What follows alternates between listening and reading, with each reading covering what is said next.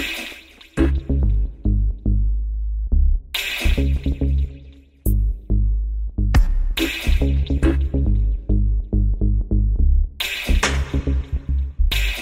it's Rob from Rovidx Media, and in this tutorial, we're going to talk about setting up your Roku Direct Publisher. So the very first thing before you do anything in WP Smart TV, you need to go over to Roku and learn about Direct Publisher. Now there is quite a bit to go over here, uh, more than the setup videos should include. So I'm going to skip that and save it for uh, a later tutorial that I'm going to be putting out uh, in the next month or two. But I will give you a basic overview of how it does work. Um, and if you're already experienced with Direct Publisher, this will be really easy for you to set up. And it's also important that you have at least one piece of content added into either movies, videos, or TV specials to proceed with this tutorial. Okay, so in your WP Smart TV dashboard, go to Roku settings. And in here, you're going to see all kinds of options, um, and we're going to run through all of them now. So first up, you're going to want to know about your link for direct publisher feed. This is the feed link that you're going to give direct publisher inside the dashboard um, to tell them where your video data is. You can also, if you're having problems with your web host, because that this does happen occasionally where Roku's system is not able to read your feed because of your host. Some hosts are willing to work with you on it, other ones don't really care. So um, it's a case by case basis the only soft or uh, web hosting company that we guarantee our plugins with is WP Engine, and that's simply because they all work on WP Engine without any issue at all. So, so that's just a little tip for those of you having problems with this, because um, we do get a lot of emails from free customers who uh, can't seem to get this working, and 90% of the time it's because of their host. Okay, so next we need to choose what types of content we're going to send to Roku. This allows you to curate what types of content you want to send to which devices. Um, for this example, we're going to select movies. You can also select multiple. You could select them all if you'd like. Now, direct publisher categories. Roku uses um, your tags that we sent set in a previous tutorial uh, when I said it was really important to include the tag that's so Roku knows how to categorize your content on the screen. Now you can do this inside the Roku dashboard. It's a lot more complicated. I'd highly re recommend you turn this option on. Now we're going to set up the query controls. This is how many items um, a video per category are put out. So say if you set this to 10, that would be 10 movies output to Roku. If you had these all turned on, it would be 10 items to movies, 10 to short form, 10 to series, 10 to TV specials, so 40 videos in total. And yes, we are going to expand those controls coming up shortly. Now, I want to display all my content items in my Roku feed, so I'm just going to set this to minus one. You can see that down here, used minus one for all content. Finally, we have our advertising controls. Now, if you're not familiar with Roku Direct Publisher, I recommend you skip this. You can always come back and set it up later. Uh, but if you do already have a channel set up and you know what you're uh, you're very comfortable with what you're doing, you can set these up for pre-roll, automatic, scheduled, scheduled with automatic fallback. Um, they're all described down here, and you can make your choice as you see fit with your network. And then we have our mid-roll timer. So this, if you have it set to automatic or scheduled with automatic fallback, this will play a mid-roll every XX minutes. So you can set it up to play uh, mid roll. They recommend about one every five to seven minutes. Uh, you can set it as high as you know an hour, an hour and a half. So uh, that's really up to you. Um, in this case, we're just going to leave it off for simplicity. So that's the first part of setting up our Roku uh, direct publisher feed. So we're just going to click Save Changes. And we're going to go back down to Roku settings. And we're going to click this little link up here.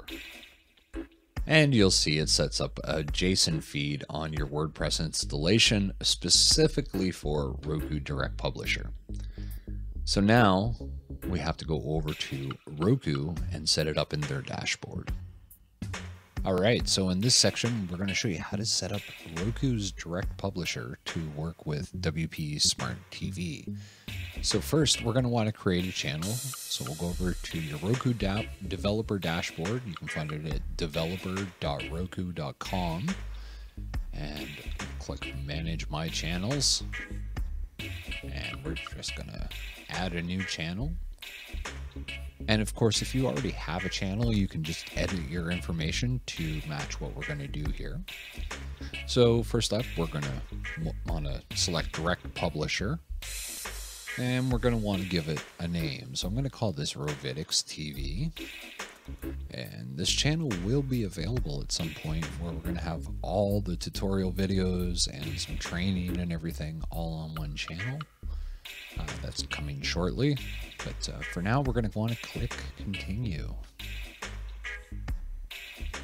And the next screen, you're going to get to select where you want your channels to be available. Uh, now, I recommend, if you can, selecting all of them. If you can't, select the ones you can. Um, but the more chan more locations you have, the more viewership you're going to find. So I like to have them all on. And the languages you support. Right at the moment, I only have an English channel, and that's all WP Smart TV supports. Though in future upgrades, we're probably going to look at doing multilingual support. And is your channel directed towards children? And my channel is not. Uh, your parental hint, all ages, content rated, content not rated, and adults. We're just going to say all ages. And your vanity access code. So this is the URL that people will visit to add your channel to their Roku device uh, via the web interface. So you can change that to whatever you like, but I'm going to call mine Rovidx. And we're going to click Save. Okay, and now it's asking for where is your feed located.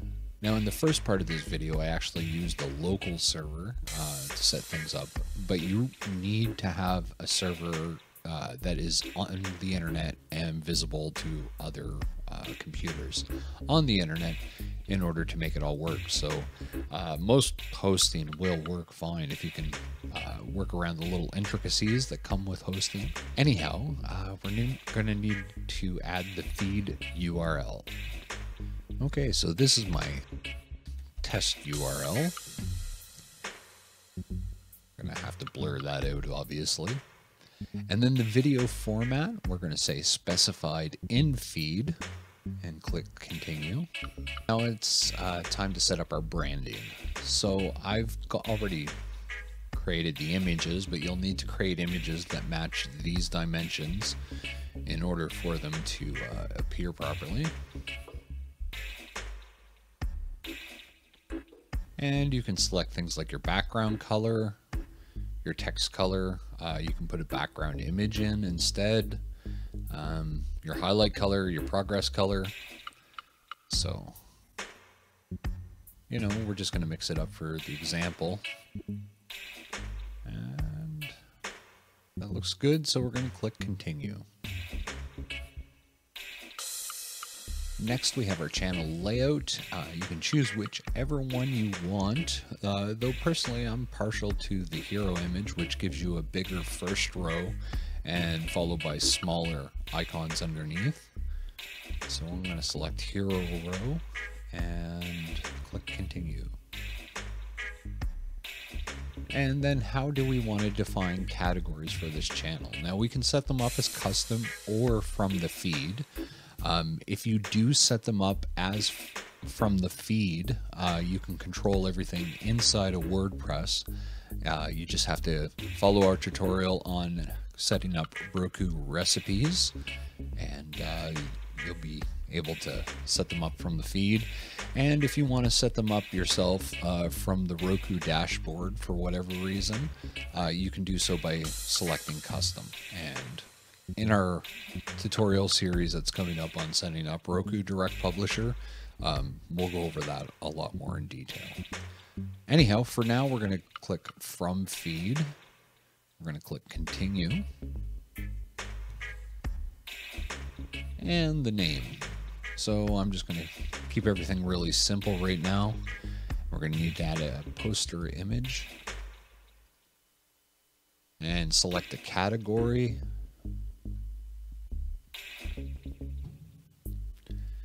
Can also add an optional web description, uh, the domestic region. So I'm in Canada. So I'm going to click continue. Here you can set up your advertising settings, but for now we're just going to select no.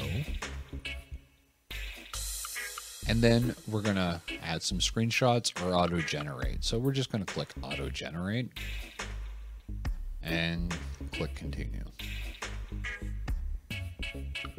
Now you can fill out all this information. Some of it is required.